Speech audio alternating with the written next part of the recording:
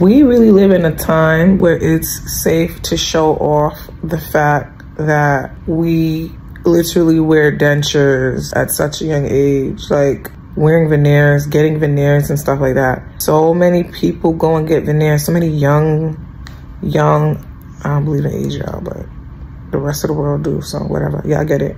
So many young people feel okay to just knock out all their teeth and get veneers. We really live in that time.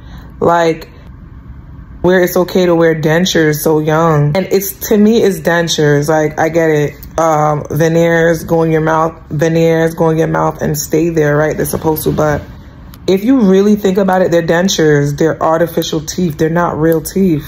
And we live in an age where so many young people go ahead and get dentures put in their mouths.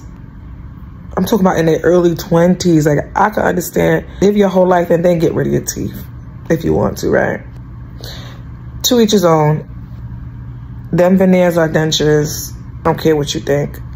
Um, but I might cop me up here though. I might cop me some dentures too. Listen, I ain't, I ain't, I ain't, I ain't, I ain't listen, do you boo, cause I might do me, all right?